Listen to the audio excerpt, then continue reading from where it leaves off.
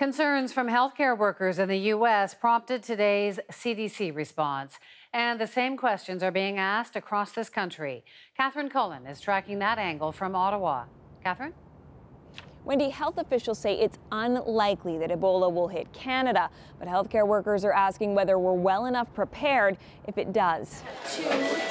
Staff at this Belleville hospital got it right, say officials, snapping into action when a man who was recently in West Africa showed symptoms of Ebola.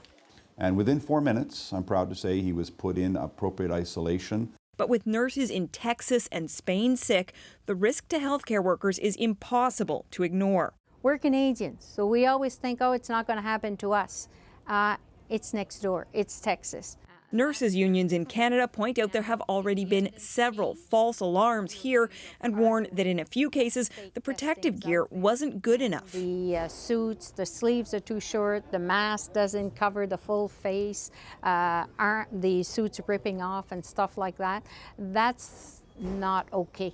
And it's not just having the right equipment. At this hospital in Halifax, they're learning how to put it on and remove it safely. You always go for most contaminated to to cleanest, basically. But even demonstrations aren't enough, argues this emergency room doctor. Were I to see an Ebola patient in my emergency room tomorrow, I'm not convinced that I know how to put it on and take it off in a way that is foolproof because I've never done the hands-on drills with somebody watching me telling me whether I'm doing it right or wrong.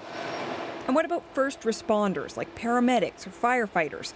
In Winnipeg, the firefighters say it's not a question of equipment, but rather the plan to put first responders into isolation if they come into contact with a potential Ebola patient. If we were to remove a firefighter right now, what would we do?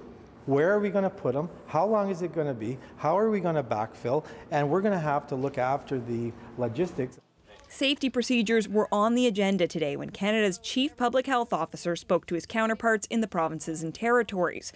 They're all trying to spread the same message don't panic. The risk to Canadians remains low, adding they've learned lessons from past outbreaks like SARS. There's a small amount of additional personal protective equipment, which we are in the process of purchasing now, uh, but the, uh, uh, almost all of the infection control steps required are things that should be uh, uh, practiced and the, and the equipment should be available on a day-to-day -day basis. And remember that man in Belleville who might have Ebola? Sources tell the CBC he's a member of the Canadian Forces who recently helped deliver equipment to Sierra Leone, specifically those face shields meant to help protect people from the virus.